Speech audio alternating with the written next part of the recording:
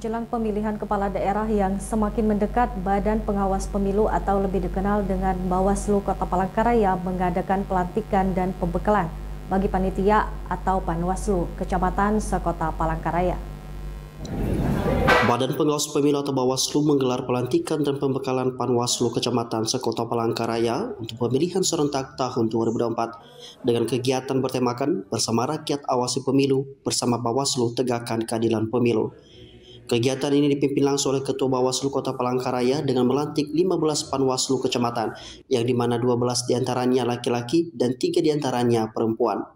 Ketua Bawaslu Kota Palangkaraya Endrawati mengatakan bahwa ke depannya pihak Panwaslu dari kecamatan akan melantik teman-teman Panwaslu yang berada pada kelurahan. Beliau juga mengatakan pada pilkada kali ini TPS nantinya akan diperkecil dengan harapan agar mempermudahkan melakukan pengawasan. Pelantik hari ini adalah ada 15 pengawas kecamatan yang tersebar di lima kecamatan. Masing-masing kecamatan ada tiga orang. Jadi tiga kali lima ada 15 orang pengawas kecamatan sekota Palangkaraya. Disesuaikan dengan jumlah kecamatannya.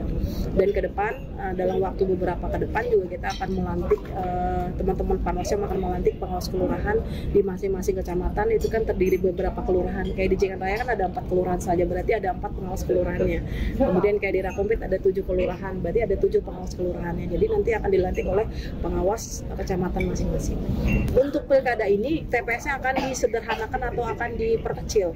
Jadi satu TPS itu maksimal 600 orang. Kalau pemilu itu TPS satu satu uh, satu TPS itu pemilihnya 300 orang maksimal. Tapi untuk pilkada nanti itu jumlah pemilih di DPT di satu TPS itu 600 orang. Jadi kalau kemarin 800 mungkin bisa diciutkan menjadi 400 sekian jumlah TPS-nya. Untuk, untuk memudahkan melakukan pengawasan karena uh, hanya dua dua apa ya dua dua jenis surat suara saja yang yang di ini ya yang di, akan dicoblos. Gitu.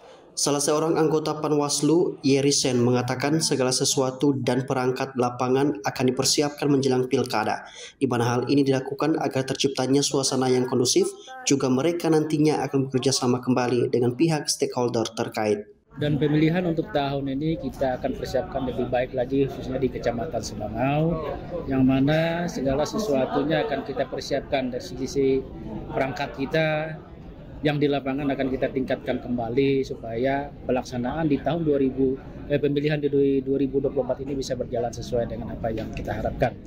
Dan akan tercipta suasana yang kondusif di tempat kita. Kita harus bekerja sama kembali dengan uh, stakeholder yang ada di seluruh kecamatan Sabangau khususnya. Dan kami harapkan bahwa pemilu tahun ini boleh berjalan baik, lancar, dan tidak ada kendala satu apa pun. Penjabat Sekretaris Daerah Kota Palangkaraya Ahmad Zaini berharap dengan pelantikan yang sudah dilakukan, Proses pun sudah mulai berjalan menjelang pilkada pada bulan November nanti. Beliau juga mengucapkan selamat kepada 15 panwaslu yang telah dilantik dan berharap agar ke depannya dapat menjaga profesionalisme, integritas, independensi, dan netralitas. Pagi hari ini kita bersama-sama tadi menyaksikan pelantikan Panwaslu Kecamatan ya ada 15 orang, tiga orang masing-masing kecamatan. Tadi sudah dilantik oleh eh, Bawaslu Kota ya Nah harapan kita dengan pelantikan ini tentunya uh, sudah mulai berjalan ya uh, proses uh, apa menjelang pilkada nanti ya di bulan November. Seperti tadi disampaikan bahwasanya ya sejak dilantik sudah harus mulai bekerja gitu ya. Nah kita berharap uh, yang pertama kita ucapkan selamat ya di pemerintah Kota Palangkaraya terhadap uh, para pejabat Panwaslu yang tadi dilantik mudah-mudahan dapat menjalankan tugasnya dengan baik. Ya sesuai dengan sumpah dan jabatan.